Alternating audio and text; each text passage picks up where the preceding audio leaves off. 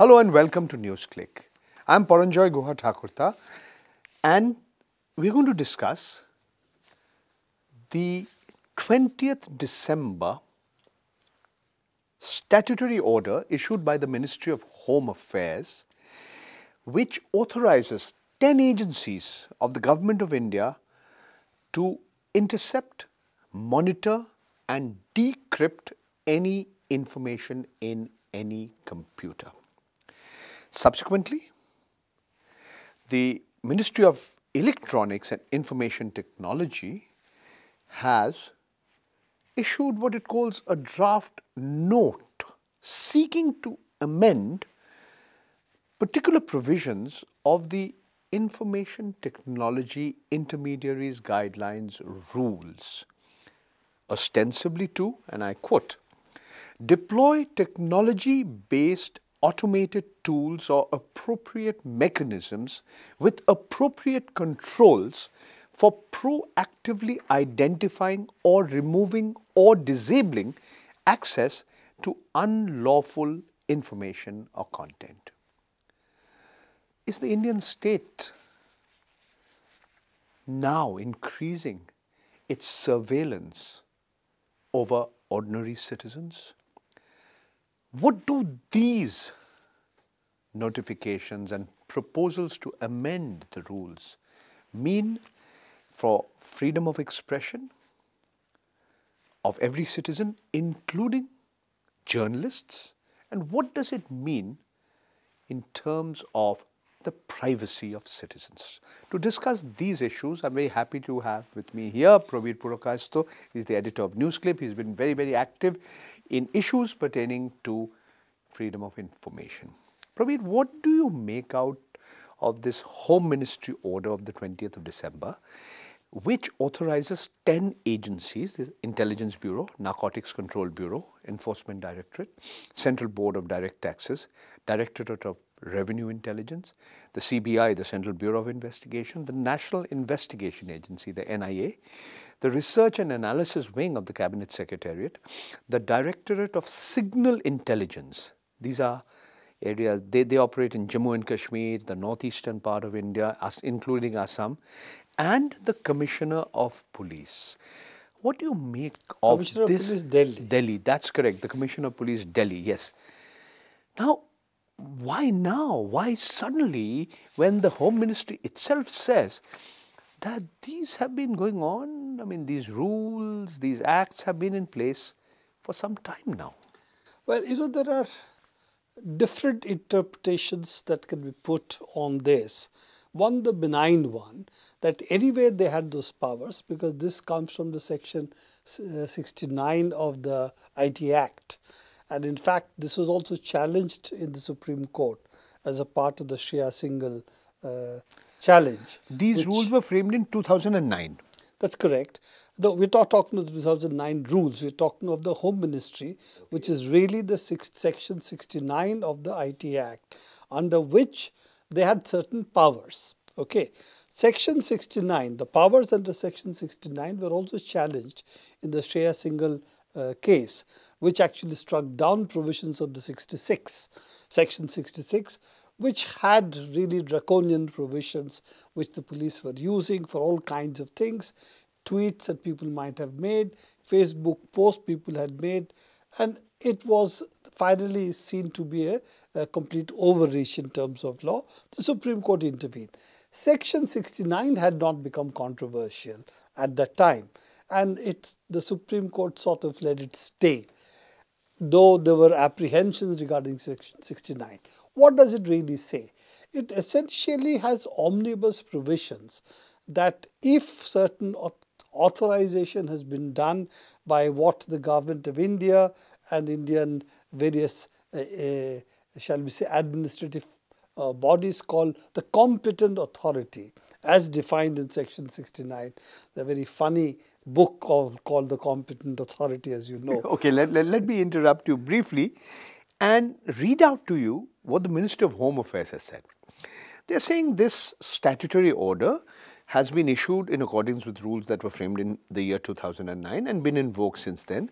He said no new powers have been conf conferred on any of these security agencies or law enforcing agencies. And furthermore, it says that the notification has been issued essentially so that ISPs, that's internet service providers, telecom service providers, and intermediaries codify, underline, codify the existing orders. And then it goes on to say every case of interception, monitoring, decryption has to be approved by the competent Home Secretary now, or now, you know, the state government? What is the reason for doing it now? I think that's the important part. If this has always been there, why what, now? Why now? And I think when we see the intermediary guide, guidelines just sought to be modified, I think if we take both of them together. So I think it's very clear that the modification to 69 or the shall we say not so much the modifications, clarifications as the Ministry of Information Technology says, with 69 was also to be seen in conjunction with the intermediate guidelines, intermediary guidelines which they are modifying. Taken together, there are two broad things that I want to draw your attention to. One is none of the state governments spoke figure anywhere in this. So therefore, Though they have a competent authority. They have competent authority. Under the Act, there are certain powers given to them as well. But the way I read it, now this has been taken over entirely by the central government and its agencies. And if you take into account all the things we are hearing about CBI, uh, somebody calling, I think one of the uh, DIGs who have moved, moved the Supreme Court, talking about the extortion directorate as uh, as uh, calling the enforcement directorate as extortion yes. directorate. So I think that these are really draconian powers which are inherent in the section 69 which we did not challenge as vigorously as you perhaps should have. Now we are aware of the dangers when it is clarified in this form. So central government is now saying we have the sole authority to do quote unquote digital wiretapping if you will and we should be able digital surveillance if you like. Digital surveillance digital wiretapping whichever way you want to phrase it. And it is directed also at intermediaries like whatsapp. All right. Okay. Now no no no one one the minute. key issue we, we, are going to come back come, yeah. come back to that. But let's take one or two steps for uh, backward. According to the notification or, or, the clarification issued by the Ministry of Home Affairs, all such instances of interception or monitoring or decryption are to be placed before a review committee headed by the Cabinet Secretary as per Rule 22 of the Information Technology Procedures and Safeguards for Interception, Monitoring and Decryption of Information Rules 2009. And it, this committee is supposed to meet at least once in two months to review cases. The second point is, according to various uh, RTI applications, right to information applications, every week, thousands and hundreds of telephones are being tapped. Correct. Now, furthermore, the government is claiming that this statutory order of the 20th of December is to ensure that any interception, monitoring or decrypting of any information through any computer resource is done, done as per due process of law. This is what they're claiming. They're saying that's why it'll help. And it says that, you know, notification about these agencies uh, will prevent any unauthorized use by... okay. I want to stop you. All right.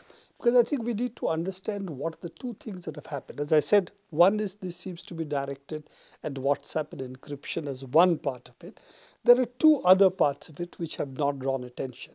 One is the Supreme Court has, as per the judgment on privacy, being called the Puttaswamy judgment, has already said that people have a right to privacy. It's a fundamental, a fundamental right. right. Fundamental okay? right, correct. So now if fundamental right really come in conflict with section 69, what happens? What is the, shall we say, the surveillance laws, you call it the surveillance laws, how do the surveillance laws square up with the right to privacy given under uh, the Puttaswamy judgment and what should be the modifications done to these is an open question and also the Sri Krishna Commission on data, data privacy has also talked about measures required to square up all of these into the into our existing legislation. So that's one part of it. Second part of it, and that's an even more important issue. You see, once upon a time, all these things were drawn up at a time when they had to issue orders to the different agencies and ask for information to be provided to them, including pulling up conversations, metadata, access to phone conversations and so on. No longer the case today. They have now got what we call central monitoring system that now it's tap into any service provider and they can pull in any information they want. Let's face it, this is very much like the NSA and GHQ model, which is in US and what is the GHQ and the, the General Headquarters, which is basically what the British intelligence agency is called, the like the competent authority. This is the one which the Edward Snowden had disclosed that the National Security Agency of the US government had actually been invading the privacy illegally. Illegally. And he also pointed out GHQ's close links with NSA. And GHQ and Indian authorities function in a very similar legal framework right. because we draw our laws, a lot of it from the colonial laws. Now, what, now Indian the, Telegraph Act. Yeah. The, the important okay. point is it is no longer asking for information, they are really pulling information of any amount that they want directly from the cell phone, mobile, telephone lines, whatever you call it today. And this is in, in this is something which is hardwired. Uh, the centers we know where they are, and they have access to all the okay all the telephone systems that we are talking about today, service providers, and this is now sought to be extended to all digital communications as well. Okay, let me play devil's advocate. Let me here tell you what the Ministry of Home Affairs is claiming, and they're claiming that this notification does not confer any new powers. They are claiming they're saying adequate safeguards are already provided in the Information Technology Act of 2000 and similar provisions and safeguards and procedures already exist with the more than a century old Telegraph Act. So they've been modified time now, to time. These, they are saying the present notification, that means the, the, the recent notification, is also subject to a robust review mechanism and it is analogous to the authorization issued under the old Telegraph Act. Now, what is it? Every individual case will continue to require prior approval of the Home Ministry of the State Government and the Ministry of Home Affairs has not delegated its powers to any law enforcement or security. This is what is being claimed. Though we know they gave blanket permission to hundreds, hundreds of people virtually every every day. You see, this is like the NSA what constitutes pulling up, what constitutes permission and so on. Uh, I'm not going to get into technical details of this, but let's understand what's happening. Ministry of Home Affairs has given blanket clearances for X number of agencies by this. They will give a post facto approval for anything these agencies do. Is a real, it's a reality of what is happening today. We, we cannot prove it, but this is what we understand is hearing or what you hear from is happening. The second part of it is this pull mechanism that you pull up anything you want is subject to a review. Now, you know, if you remember the famous Maintenance of Internal Security Act reviews, which is to take place during emergency. The MISA. MISA. there are thousands of people who were in jail and they were all routinely reviewed and all the reviews said, you know, the grounds are perfectly okay and it should continue forever. So this, this kind of reviews which takes place is farcical depending on the political authority. The important part is why is it being done now? This is, I think, the crucial issue. And you believe it has a lot to do with the fact that the political atmosphere being what it is, we are going to see the next general elections. I think it's very clear that as April, long May. as as long as WhatsApp was under the control of the BJP's electoral machinery. They did not they did not really need this But now everybody is using Now that everybody is following suit, therefore the need to harass. Because you see, if you criticize the BJP, they can call it anti-government and anti-national.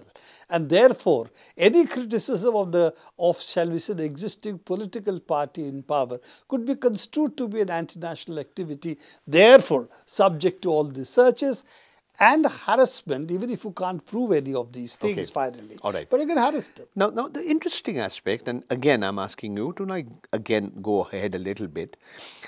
What happened is the day after the statutory order was issued by the Ministry of Home Affairs, which was the 20th of December. On the 21st of December, the Ministry of Electronics and Information Technology, with members of what is called the Cyber Law Division, they convened a meeting. There were representatives of Google, representatives of Google, Facebook, WhatsApp, Basically the major Amazon, intermediaries. Yahoo, Twitter, ShareChat, the Securities and Exchange Board of India, and the Internet Service Providers Association of India. It was supposed to be a sort of a closed door session and a five page set of draft rules which are now available in the public On the mighty, yes. MeitY website. That's all. This all happened in the 21st of December. And now, the point that everybody has to understand, and this is where I'd like you to explain it. If the proposed, and, and by the way, these uh, people who were part of the meeting, they have been given time till the 7th of January to respond to these draft proposals. Now, are we, have we turned, gone back, in a sense, regressed? After the Shreya Singhal judgment of the Supreme Court, which was in March 2015, which repealed, it struck down Section 66A of the Information Technology Act, which allowed the arrest of those who were posting offensive content online. Now you are saying you're proposing to say you can go back to where you started from. And the earlier one, the Home Ministry's orders, you know, the, the, the you, I mean, seven months, you can be put behind bars for up to seven months. I mean, whether you do it or not is another story. So, how do you see? Is it all really WhatsApp again? You see, let's put it this way. This is a lot to do with encryption. As you saw, the 69, the section 69 they were talking about in the IT Act refers to also de-encryption of computer resources. So, and if you see what the intermediary uh, section uh, that we are talking about of the IT Act, again it refers to essentially uh, again encryption issue. So I think there is a battle that's going to come up immediately. Facebook has to give its encryption keys to the government of India, so they should be able to pull up anything they want. But Facebook Now, just hold on, yeah, just hold yeah, on yeah, again. yeah, okay. As long as it was lynching, as long as it was communal rights in Muzaffarnagar in which Facebook, you know, was used, but much more than that, WhatsApp was used. We know it, it has been used extensively. People have been asking, what are you doing about it? There is enough information available in public domain. Why aren't you prosecuting anybody? Till that point of time, government appeared to be very, shall we say, continuing in its position of laissez-faire on this.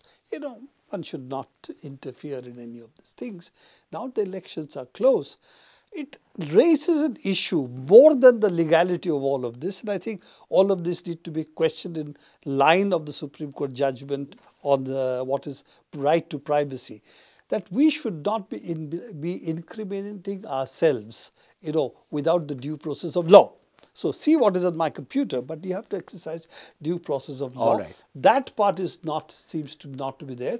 But to me, the main important part is why today. Okay. Why is it that suddenly it has become so important to look at all these issues which we have been raising for a considerable period of time?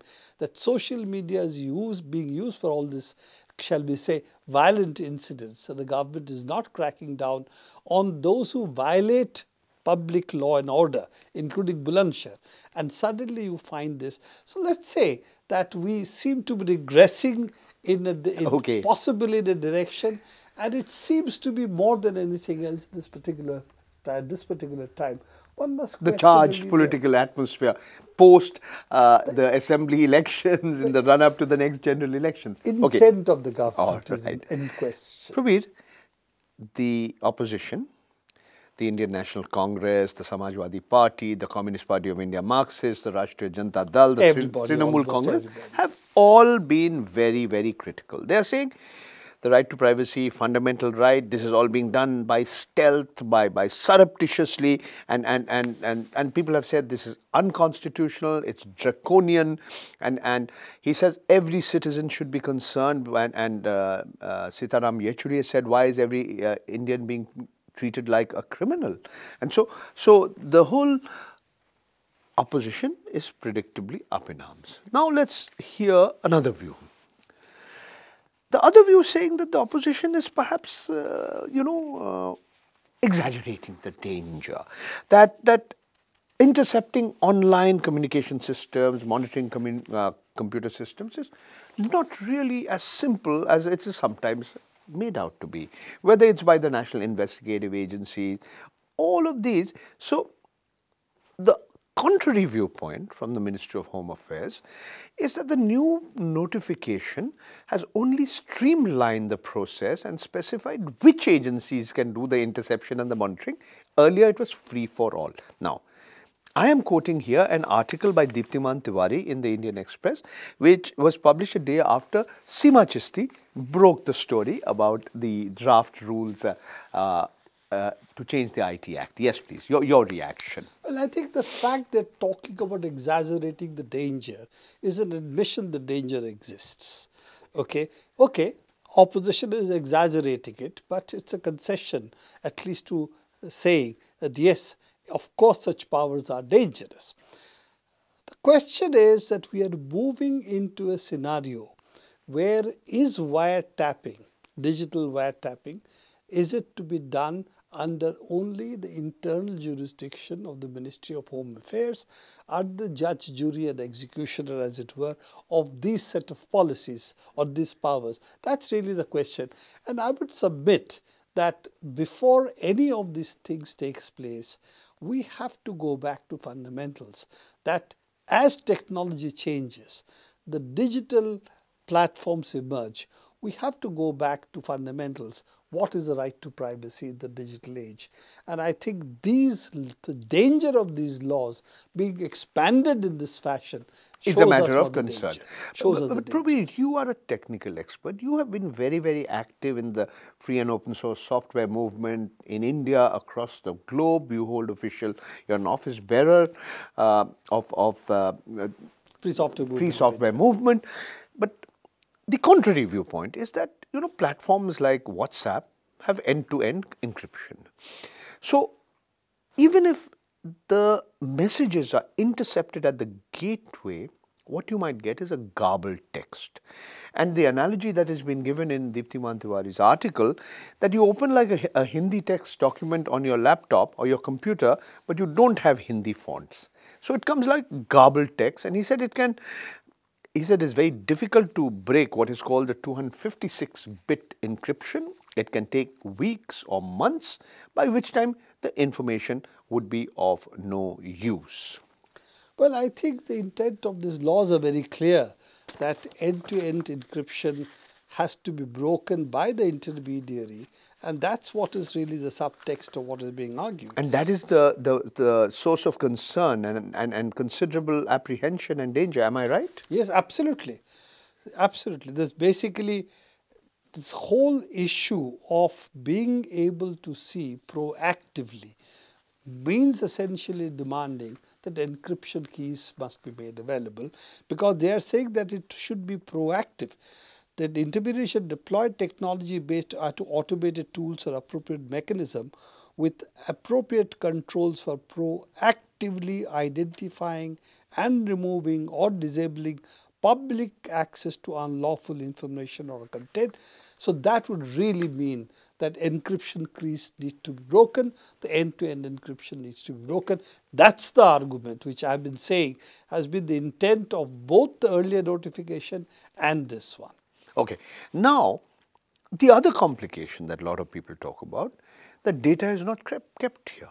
The data is in, they have said very clearly in servers in the US. Wherever the servers are, that they have to be given access if they're operating the services in India. Huh. I think that position would lead to the position that data has to be localized. All right. No, no, so they said if India says that all data is 64-bit data, then it's easier to break. But if it's not 64-bit data, it's 256, then it Talk becomes the encryption. Okay. Now the encryption. Now again, when you look at, and here I'm quoting an officer quoted in this Indian Express report, an unnamed officer, it says social media platforms with servers in the United States have been largely reluctant to share information. And after 2611, there has been good cooperation, quote unquote, India and US, there, are agencies, and social media information has been shared on a case to case basis.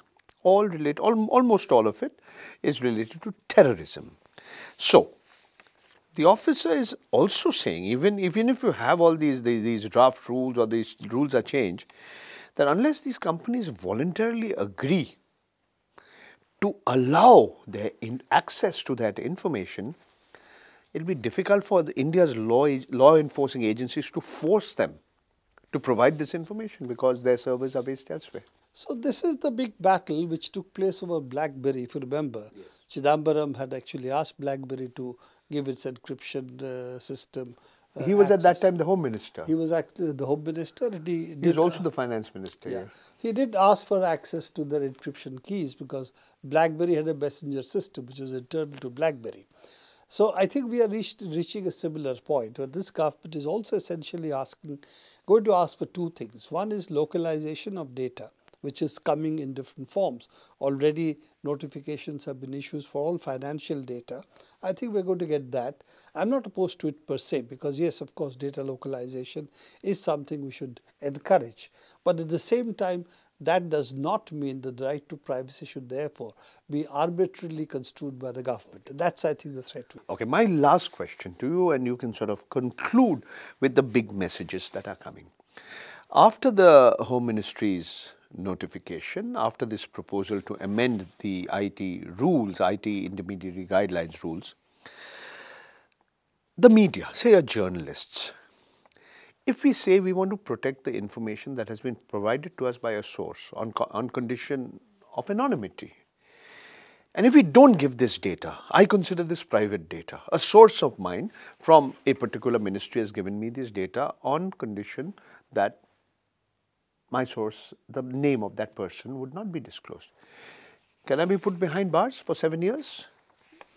I think, and, I think yeah. under these laws, that uh, the way I see it, that there's a distinct possibility, both for you to be put under bars and if Facebook or WhatsApp, in this case owned by Facebook, doesn't give access, theoretically, even their the company officials in India can be put behind bars.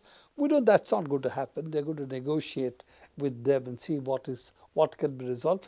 But certainly, you can be asked to de-encrypt whatever you have received, which is on your mobile or which is on your computer.